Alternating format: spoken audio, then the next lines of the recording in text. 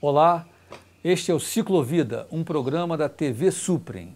E hoje nós temos o prazer de receber aqui o Guilherme Labarré, que é psicólogo, amante de bicicletas, que fez diversas viagens pelo nosso Brasil de bicicleta.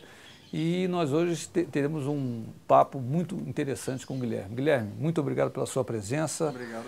Eu queria inicialmente que você falasse um pouco da sua vida, da sua experiência com as bicicletas, contasse um pouco das suas viagens também. Sou ciclista há mais de 10 anos, hoje aqui em Brasília. Considero uma cidade que tem um potencial fantástico para o ciclismo, por ser plano né, e é, ter vias largas. E eu comecei pedalando sem muitas é, pretensões, né? Só dando umas voltinhas, aí comecei a, a, a ganhar gosto pela coisa. coisa né? Você vai melhorando um pouco a bicicleta, né? Vai vendo que é outra coisa pedalar numa bicicleta que melhorzinha, né? Mais macia, mais confortável. Então eu fui pegando gosto e comecei a fazer muitas coisas aqui mesmo em Brasília de bicicleta. Dia -dia. Percebi que dava para ir para a faculdade, ia trabalhar de bicicleta, ia às vezes fazer alguma compra, ia de bicicleta. Então comecei nos depois do primeiro ano, quando eu comecei a pedalar mais, eu comecei a fazer tudo de bicicleta praticamente, né? Ia todos os dias para o plano, pedalava bastante, uma média aí de uns 30 quilômetros por dia, só circulando normalmente, assim, para fazer as coisas do dia a dia.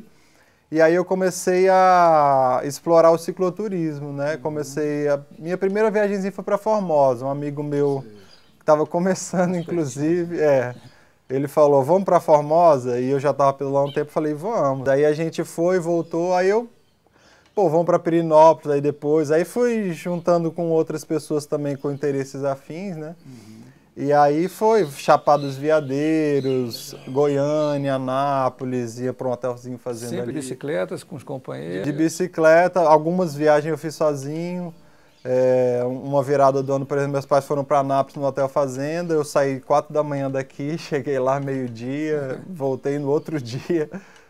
Enfim, aí eu fui vendo que, que a bicicleta realmente é um meio de transporte fantástico, né? Que, com diversas vantagens, que quando você é mais novo, está meio quebrado de grana, então você a, a grana que eu economizei de combustível, para mim era algo absurdo, assim, saúde, né? Também com médico, Exatamente, saúde, alimentação, você acaba melhorando. Claro. É, eu nunca fui muito de, de bebida alcoólica, então eu percebia que você fica num, num clima de saúde assim incrível, você até quer comer melhor por conta disso. E você continua usando a bicicleta como meio de transporte no seu dia a dia, para suas tarefas diárias?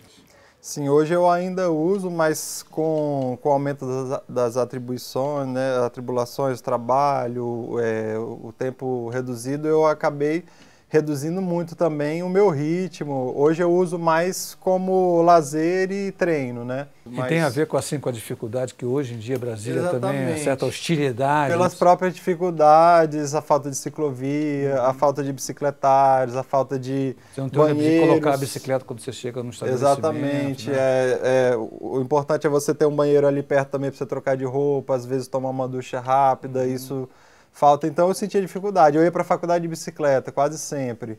E eu chegava lá, tinha que às vezes atravessar o campus fantasiado, né, carregando a bicicleta. Às vezes eles implicavam, o, o bicicletário era próximo, mas o banheiro era lá do outro lado.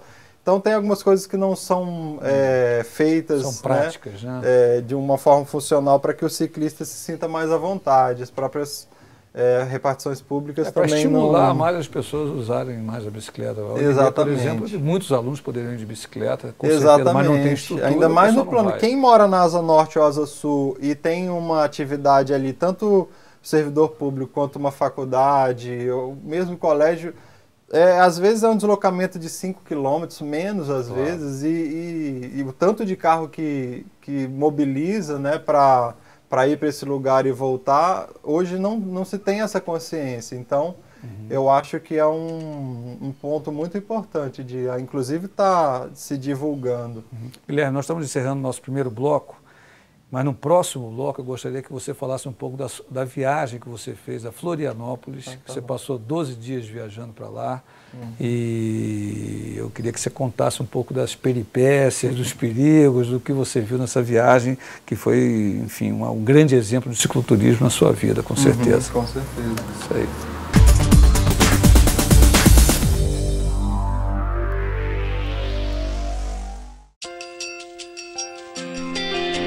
Gesto pela educação para todos.